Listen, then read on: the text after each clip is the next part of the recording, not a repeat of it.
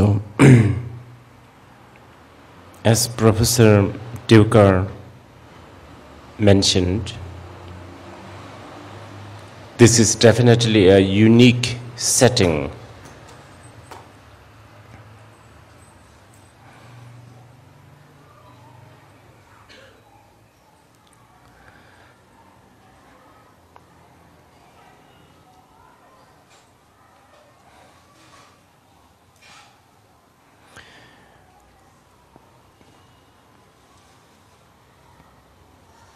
I did study in London, and there I had experience with Buddhist studies. And uh, years later, I had the opportunity to talk, uh, to actually lead one semester in uh, Oxford teaching Buddhist philosophy.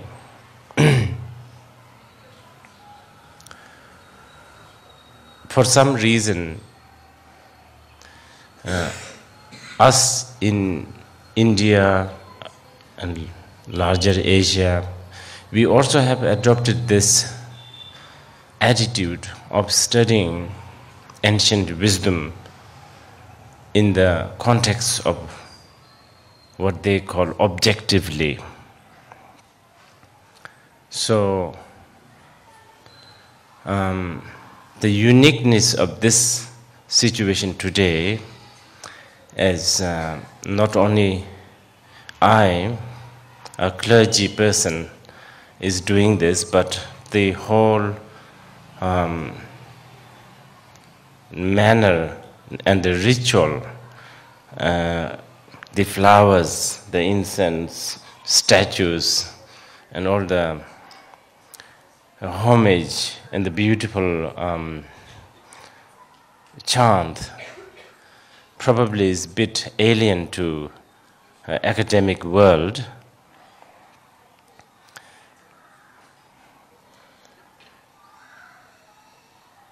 Of course, we have to appreciate critical study.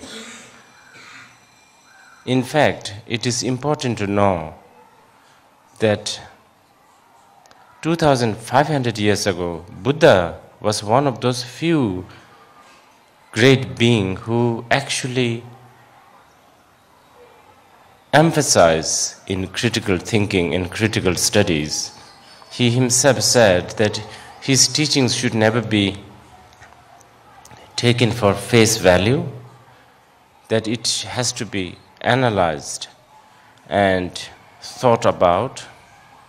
And if it is good, then you should take it as a path. In fact, I, I believe that this is very much Indian value. Probably this is why also the Indians are very argumentative. Sometimes they argue all together at once. I can never make out who, who, who is talking what whenever I watch this. Uh, I forgot the channel. The, today, is it? In Times Now with Am Arnam something something, yes.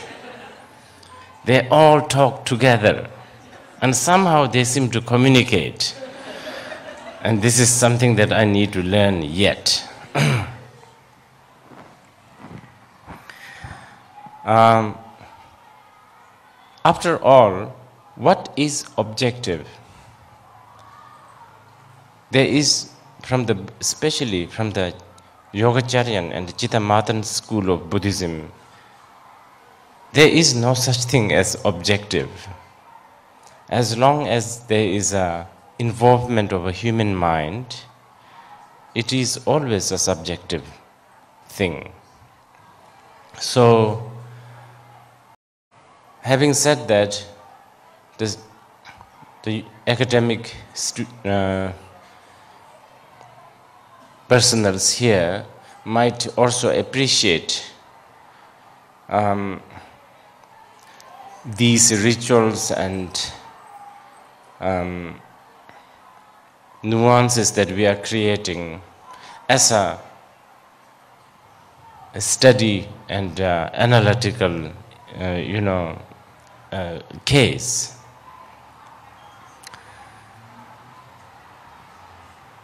I'm sure, even though what I am going to, what I'm going to try and deliver here has been passed down for hundreds and hundreds of years and deeply rooted to India. In fact, um, great work of Nalanda University and a Gujarati, since Shantideva was a Gujarati, um, there must have been, I'm sure there has been a lot of dilution, corruption, but nevertheless,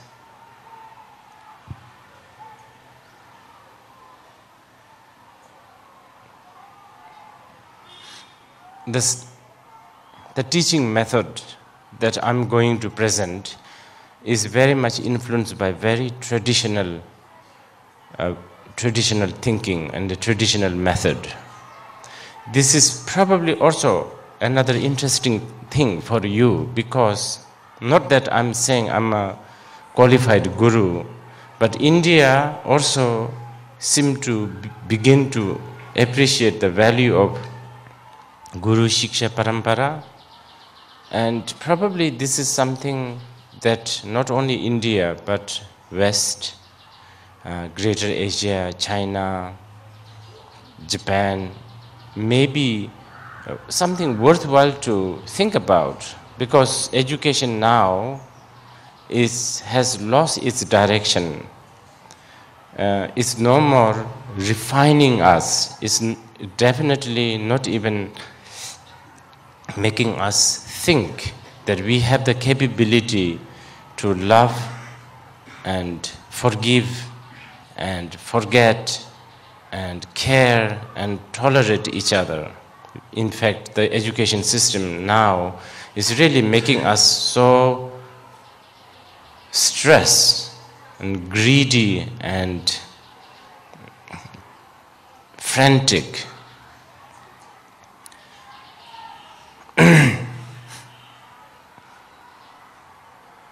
I'm happy to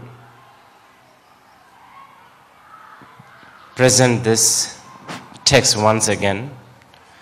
when I finish my sort of, not really, you know, it, will, it will never be finished, Buddhist studies.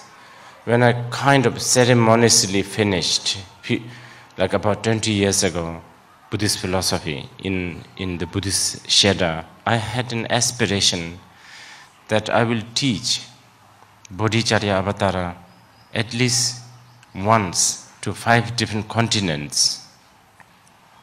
And I think it has fulfilled, and not only that, um, Bodhicharya, Arya, Arya, um, Bodhicharya Avatara has been taught. I've been teaching this. In fact, I'm teaching this, I've already started this uh, in Japan, and it is still kind of in the process. I'm really happy to do this once again. Um, as Professor Duka very rightly mentioned, at the least, it is making me feel very guilty, which is a good thing, because a lot of the things that Shantideva reminds us what to do as an aspiring bodhisattva, we tend to forget.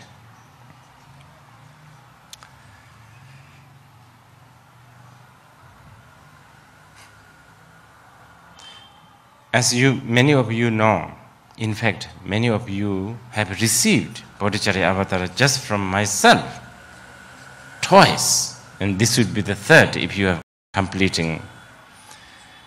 Um, I will take this as a encouragement to the Bodhisattvayana path that you seem to be relentlessly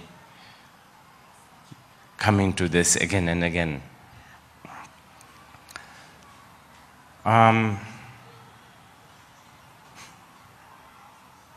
now, this is a very big text, but this is also most beloved text. In the Tibetan Buddhist study, we begin our study with this text. It's a very important text. Not only it is very important text, but it is so beautiful. Uh, when we read in Tibetan, it is so beautiful. And I have to say, even when I read in, in English, it is beautiful. And I'm sure it is much more beautiful in Sanskrit.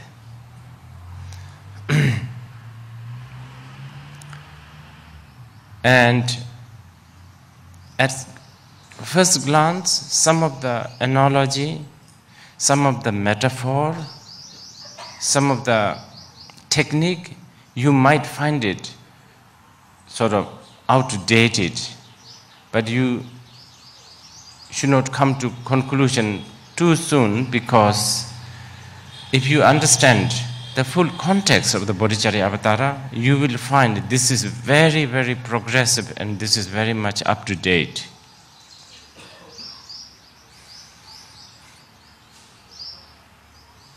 More than ever, I would say, study and contemplation of such texts now, at this day and age, more than ever important. It's important. Although I'm going to present this in a very traditional manner, keeping some of the advice from my gurus, I will also um, not necessarily follow the chapters in order. Especially, many of you are very intellectual, intellectually advanced. You are already very prepared with um, critical thinking, So, I might visit the, I might sort of visit the different chapters and try to always go back. Um, sort of step by step method, which is how it is taught in the uh, traditional Buddhist um, school. So, for this reason, we may also, I might go to the ninth chapter, which is the wisdom chapter, and traditionally considered the most difficult chapter also, because we talk, it is difficult because in the ninth chapter, we discuss things that cannot be discussed that easily. In the ninth chapter, certain amount of courage to get out of a certain zone, certain box that we are always comfortable with is very necessary. Without the ninth chapter, all the other chapters, As Chantadeva himself said, Yana Dida Thamcheni Tupe Sharap Dendusung is really meaningless. It is the ninth chapter, the chapter of the wisdom, that really makes every stanzas of the Bodhicharya Avatara worthwhile. But also, without all the instructions and the technique that are found in other chapters, without them, a mere intellectual approach to the wisdom is also impossible, especially if you really want to actualize what wisdom is. In the ninth chapter, hopefully, you will also get a clue that wisdom that Mahayana Buddhism talks about is nothing mystical or nothing um, supernatural. In fact, hopefully you will come to the uh, come to know that the wisdom that Shantideva is talking is so so simple. It is unbearably simple. It is so simple. It is so close to us. It is right in front of us. It's like the eyelashes that we don't see because it's too close. And and because we don't see and we are not in touch with this simple wisdom, we go through all unnecessary pain and delusion and illu- yeah, um, problems and suffering, etc. Really, it is nothing mystical. But even though it is nothing mystical, nothing supernatural, it is kind of too late for some of us not to think that it is mystical. And this is also accepted graciously, compassionately. We let you think that yes, the wisdom is extraordinary, wisdom is exceptional, and let and give you, give us. Shantideva gives us all sorts of seemingly ritualistic methods to acquire even though you see even you know the word acquire and obtain even though it cannot be obtained and acquired. But we use the words like that acquire and obtain so that we train our mind and lead ourselves to this simplicity. So, hypothetically speaking, I would say when the day comes that you sort of discover this wisdom, you will be so amused that you have even gone through all this unnecessary, you know, maze, steps, um, stages, you, that you actually went through all of that. But when you look at your neighbor, when you look at your not enlightened being, friend, you will also have the compassion and realize that all those maze and all those methods and all those rituals are necessary. And so, this is the time so called wisdom and compassion are united. And when this happened, I guess actualization of bodhicitta is final.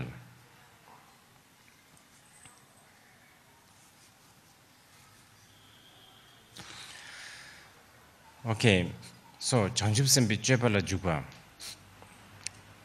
bodhicharya avatara.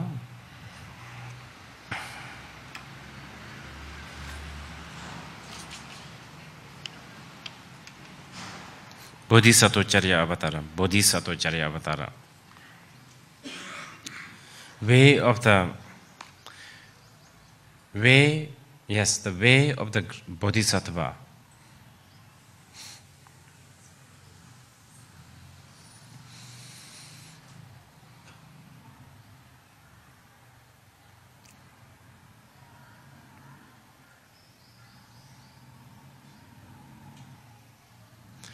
So here, Bodhisattva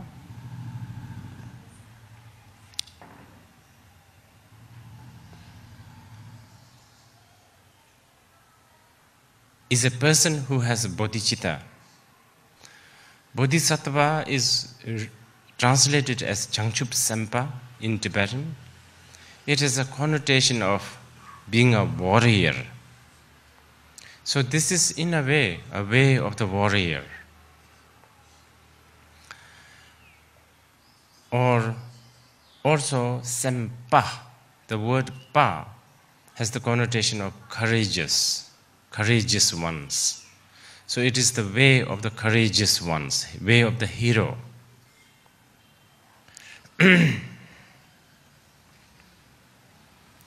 what makes a person bodhisattva?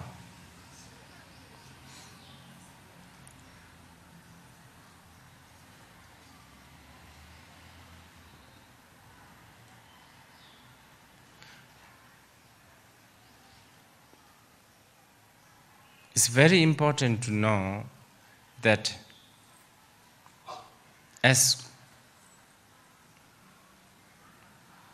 many people seem to rush and make conclusion that a bodhisattva is someone who has a compassion or someone who is kind kind and compassion alone does not make a person bodhisattva bodhisattva's main ingredient if you like what makes a bodhisattva, a person a bodhisattva? Is someone who has actually understood the truth. I think this is very out of lack of choice of you know phrase and language. I have to say it this way. Someone who has understood or they realized the truth. So meaning someone who has that wisdom that, in combination with a sympathy, empathy, compassion, joy, loving, these are what makes a person bodhisattva. Okay, so now the next question is what is this grand truth that we need or we need to actualize. Now, this is a very big issue. And this is one of the biggest sort of, I believe,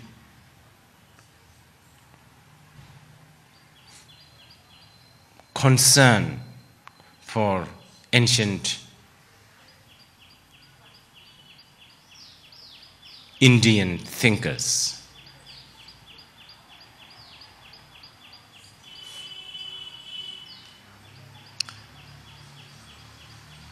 I don't know so much about other Indian philosophy.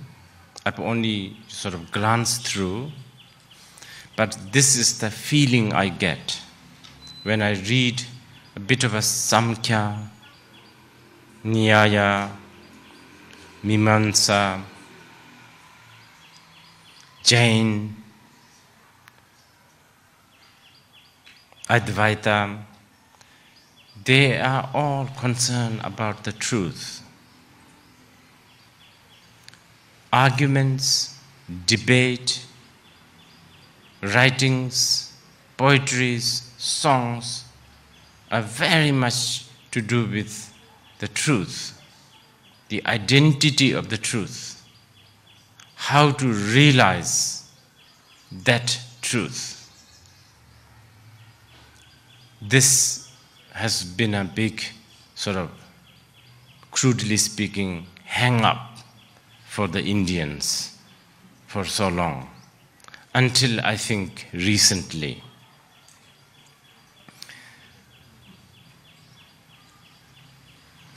So, especially during those days, Nalanda days.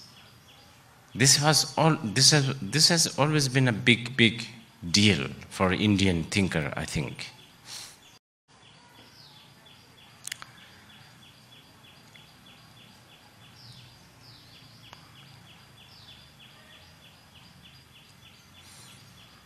Now, generally, from the Buddhist point of view, that this is general Buddhism. There are many different ways to approach to understand this truth. Most of them are mediocre and most of them are necessary but not so good. Probably the best one is meditation. Probably.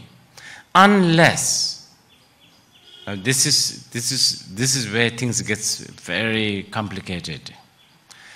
Unless if a person is so open-minded, but what do we mean by open-minded?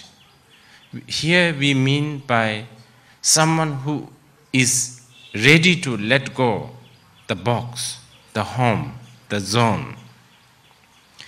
If a person is so ready to let go anything, values, I don't know, references, such as Naropa, let's say, another great Indian man in the past, someone who is ready to go. You know, Naropa was a great, you know, scholar and um, respected sort of um, professor, if you like, of a Nalanda University. And Nalanda University was a very prestigious university. But he realized that that is just a very sophisticated zone, a box. He wants to get out of that. And at the dismay of all his students and colleagues and I don't know, the executive and the dean and the chancellor of you know, Nalanda University, he left. And he met the guy called Tel- Tilopa, another great being. And Naropa, at that time, he is already ready to break through this zone. He was ready. Yeah, of course, after a lot of tests by the Tilopa also. Tilopa wasn't that easygoing person. Okay, so if there is a person who is capable to let go this zone, and do you know what that means? That means in, in today's society, you will be referred as someone who belongs to lunatic asylum, someone who is really outcasted. So if you are that prepared, all you need is another guy hitting your head with the shoes. And you get it instantly. When Tilopa hit Naropa's head with his shoes, something happened that he has never ever, the years and years of study in the Nalanda University never did. Something happened. And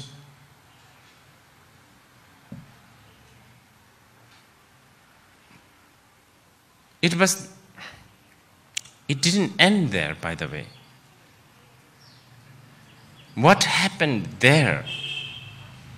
The, the post shoe incident. What happened there then had an amazing legacy. Even today, like even in Tibet, some of the greatest school of Buddhism actually came from Naropa, like such as the well-known Karmapa lineage is actually belong to the wisdom tradition of the great Naropa. And the Karmapa lineage would appreciate Naropa not so much or because of, because of what had happened pre-shoe incident. Before the shoe incident, there are so many, many great other scholars, so many.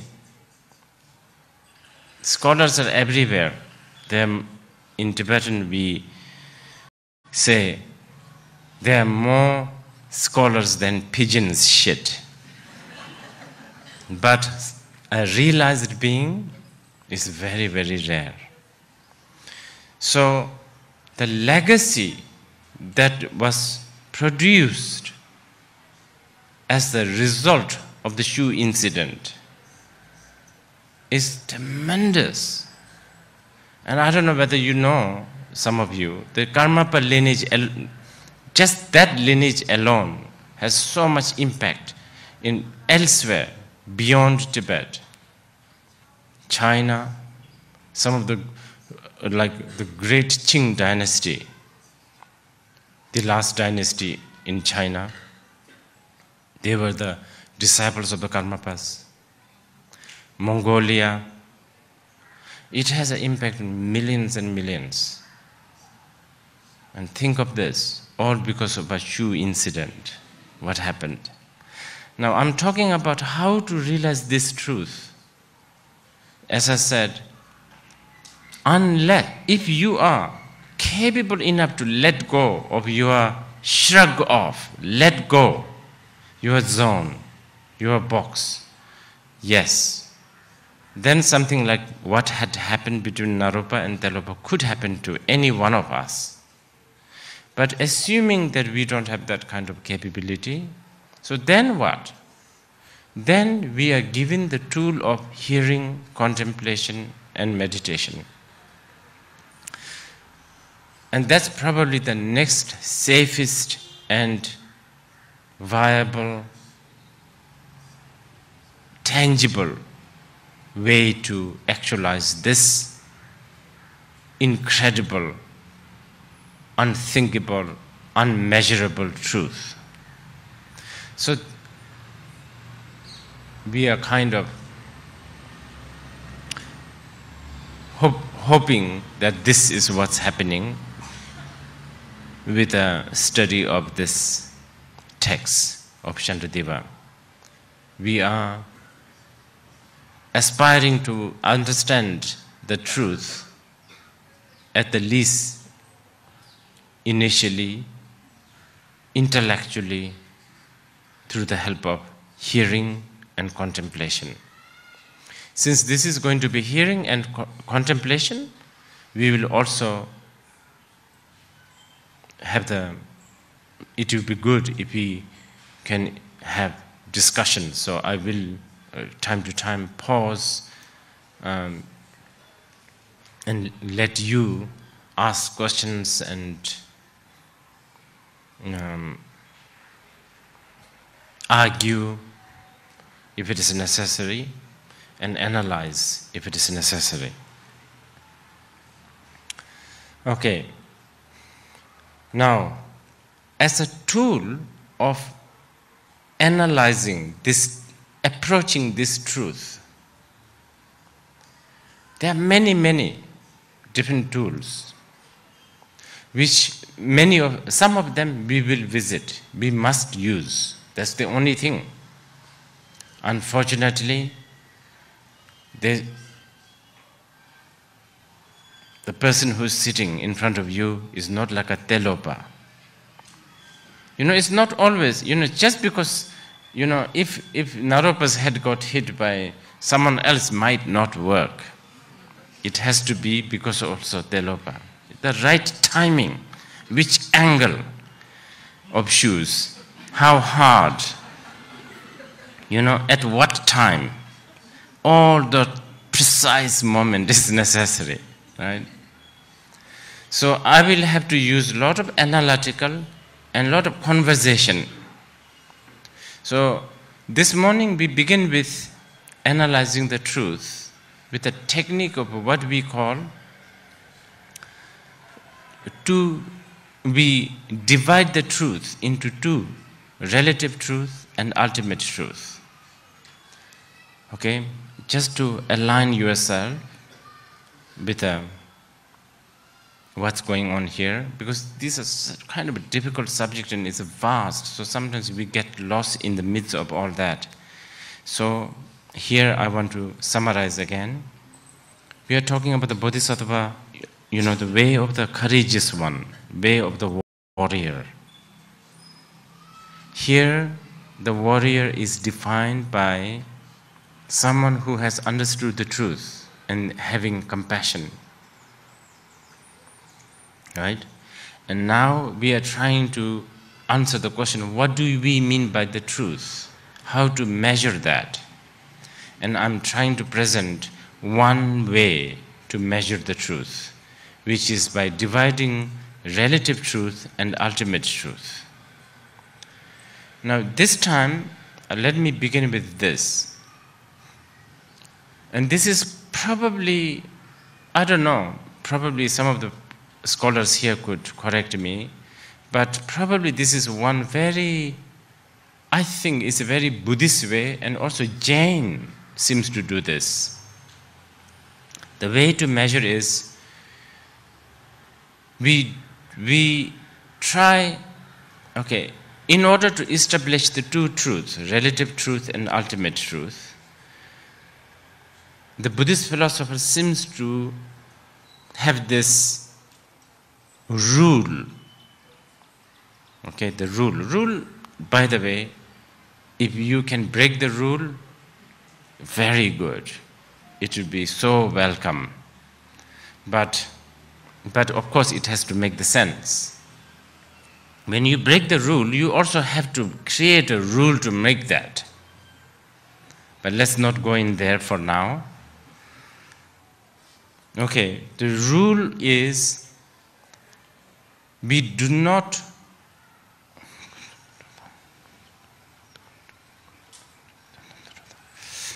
we do not exaggerate on the ultimate level and we do not underestimate during the relative world.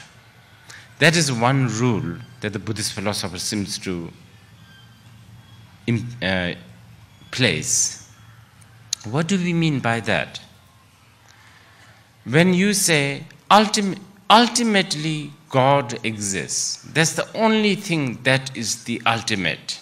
Then, for a trained Buddhist ear, they hear as an exaggeration. Did you get my point? Ultimately, the only God exists. That sentence for the Buddhist ear is an exaggeration. Relatively, if someone says there is no reincarnation, there is no next life, then for a Buddhist, it is an underestimation of relative truth. Do you like to ask some questions about this? I just want to know whether you are getting it, whether we are in the same sort of wavelength, so to speak. This is one tool which probably might helpful might be helpful for us to, you know, sort of go on with the discussion.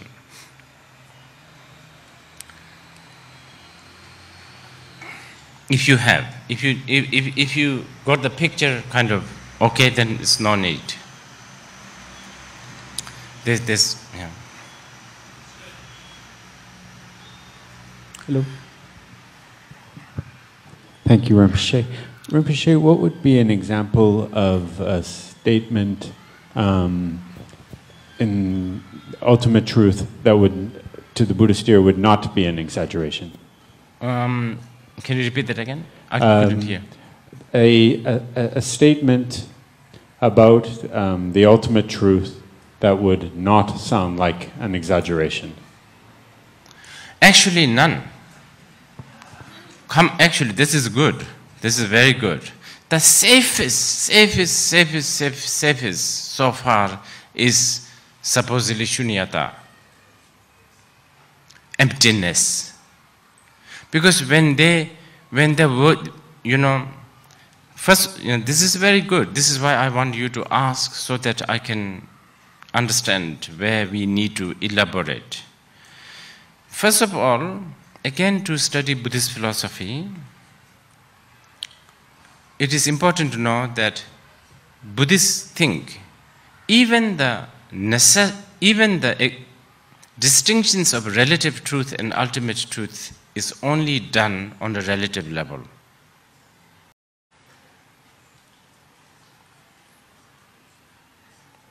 There is no such thing as ultimately relative truth and ultimate.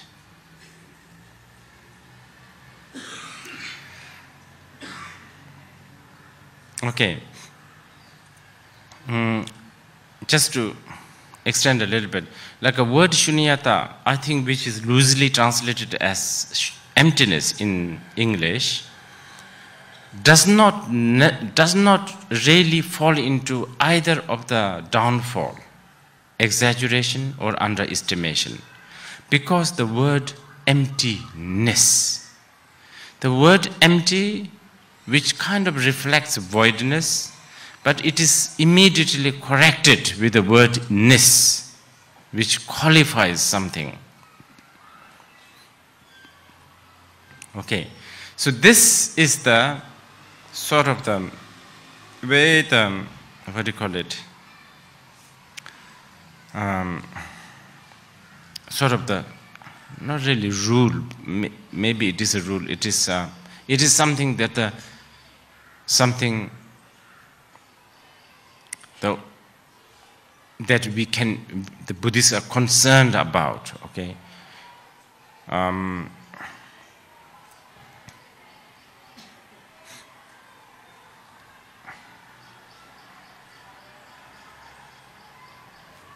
yes, this is something the Buddhists are concerned with. Not to fall into the downfall of underestimation and overly overly exaggeration. To remind you the example is like if you say god exists ultimately that is for buddhists an exaggeration reincarnation or the next life does not exist is an underestimation on the relative if you, if you have that in your system of thinking, then the Buddhists will think it is not really right path. Okay, now what, what does this help? What does this help? This helps as a stepping stone to the way of the wisdom way of the wisdom.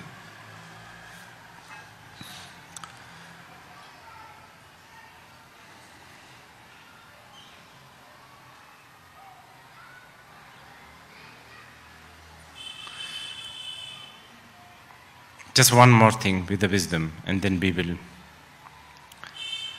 begin with um,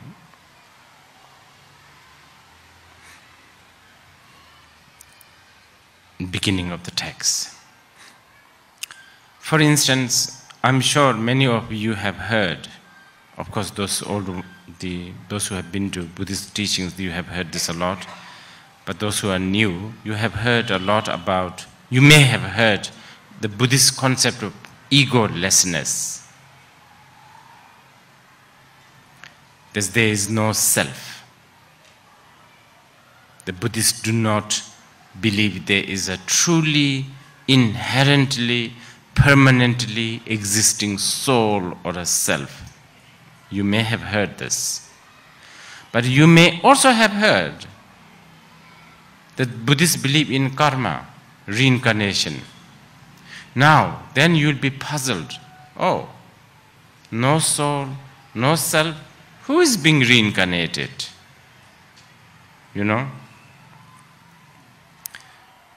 But harmonizing between these two seemingly contradiction, which is basically paradoxical, is the way we approach to establishing the true truth.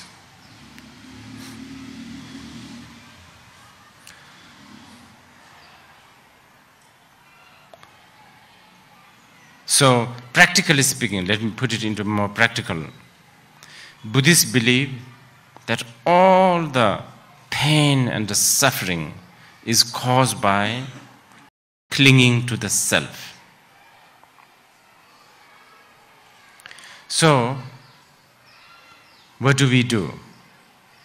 We can lower down our selfishness. But does it really help? Not really.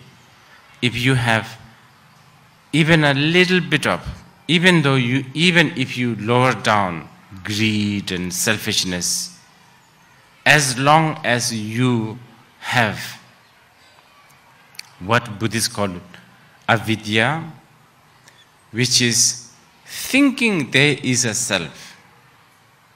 As long as you have that fundamental ignorance, even though you may temper down the speed and the amount and the strength of the selfishness, selfishness you are still a victim of suffering. You are still, you will be in pain. You are not free. Why not? Because you have a fundamental mistaken idea. And what is that? Thinking there is a self. And why is that a mistake?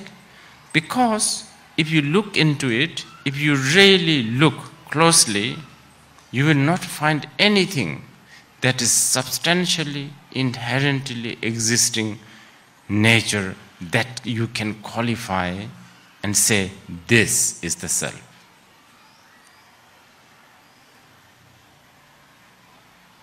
The next question is, but when somebody step on my toe, I feel pain. When somebody praise me, I'm happy. When I'm when I win a lottery, it is me, I'm happy. Who is that? That, now, now we are talking of the relative world. That is a, from the Buddhist point of view, when you congregate certain favorable cause and conditions put together,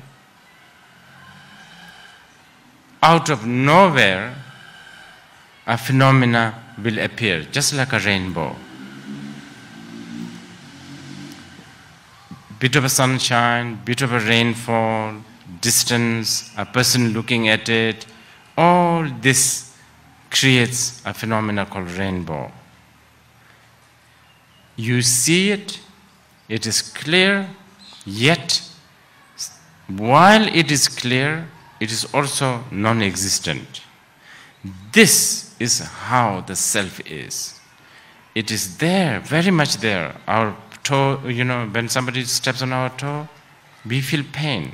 Just like the rainbow, beautiful color shaped, all orderly, not chaotic.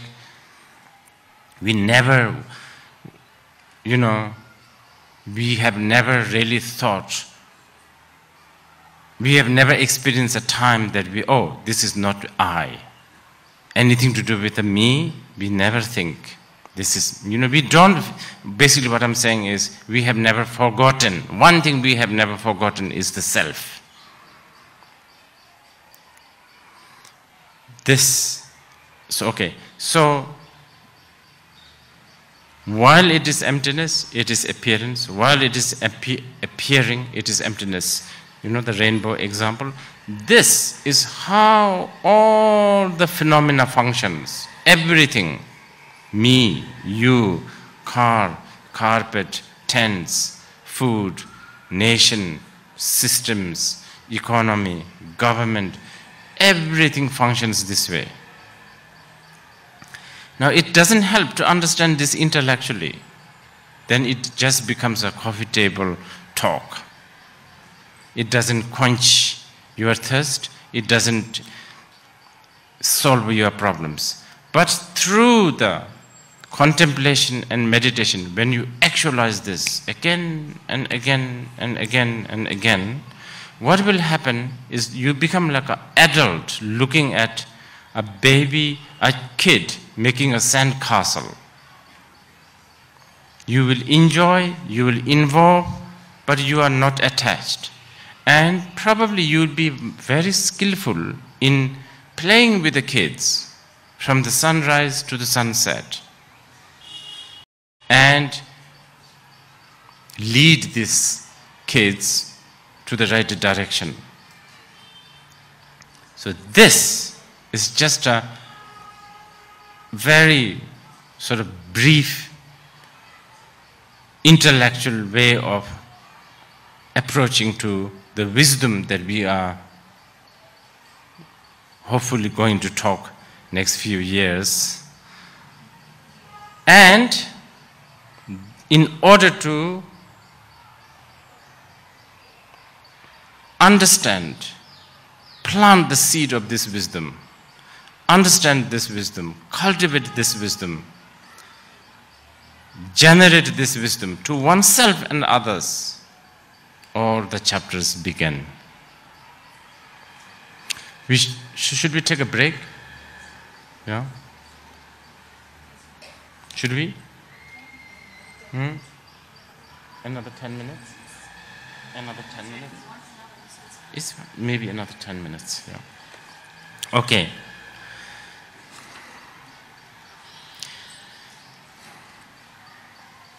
I feel funny to, if I begin the text in Tibetan, it begins with Jagar Kedu. Do you know what that means? In the Indian language, we in Tibet, every single text that are translated, we begin actually with this word Jagar Kedu, which means in the Indian language. And there, we do actually study. And now you have to think in, you know, this matter. You know, let's say this is like pre 1959, okay, like 1930s, 1800s, 1700s Tibet. Tibetans have no clue how India looks like. Tibetans have no clue what kind of mosquitoes India has. They have some description about mosquito, I'm serious. People have died, you know the translators. And and you know this is so funny. In the classic Tibet Buddhist studies in Tibet, example, classic example, some of the examples are like uh, ox with a, a, lump on the back and um, what do you call it? Hmm? Yeah. No, not beard. The what is it? Flap, flap. I, and and by the way, that happened to be what is what is uh, it's a very normal metaphor for the Indian philosophers of those days and even now. It's, so this is why it's in the Tibet, classic texts. We call it no kokshal. You know, there are classic uh, metaphors like ox's hump and the flap, the vase. But the interesting thing is the Tibetans have loyally kept even that metaphor, even though Tibetans have never seen an ox. They have yak, but the yak don't have hump or flap. It has hairs and all that. So for the Tibetan students, like just imagine 1800, during 1800 time, you know, those days, Tibetans have never seen ox. But yet they talk about ox. They talk about its hump and its flap and all that. Because the Indians used to do. So I remember when growing up, when I studied Indian uh, Buddhist philosophy, always the first day is this, but in my case it's different because I did study in these things in the Tibetan refugee camp in India. But now I think about these things, it's quite interesting. Our first day is kind of a brief historical and geographical and linguistic sort of study of India because Tibetans used to really revere India so much. Even, even the classic term for India is Phakpi land of noble, land of, you know, like nobles, you know, like that. So that one I can skip, I guess. I don't really need to, I need to go through this. And then comes a homage. I'm just telling you this, this is for just in case you are very meticulous academic students, you might find these things interesting. And then after, after these two, in the, in, in the Indian language, Eh, body sato charya avatara bhegedu in the tibetan language changchu simbe chebala jugwa.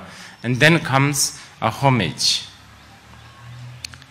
And homage was offered to uh, buddhas bodhisat buddhas and bodhisattvas prostrations to buddhas and bodhisattvas.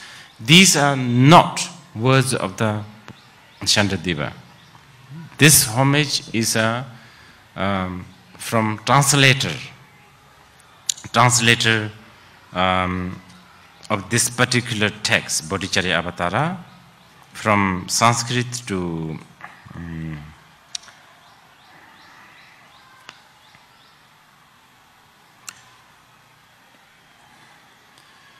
Tibetan, uh, Sarva Ja Deva and um, Paltsik of the Tibetan, and then also Dharmashiri Bhadra, and and the and Tibetan monk Rinchen Zangpo. And then also later Sumati Kirti, the Indian uh, translator, um, Indian Pandit, I should say, and then Tibetan uh, translator Loden Sherab. Uh,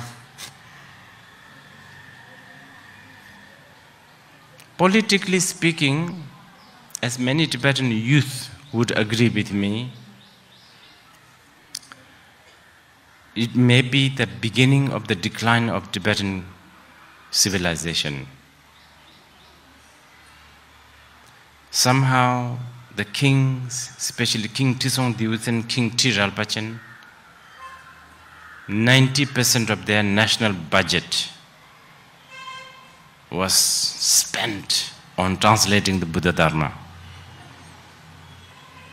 Not for defense, not for economy, and this is how probably Tibetan became very weak in economy, in defense, in foreign affairs.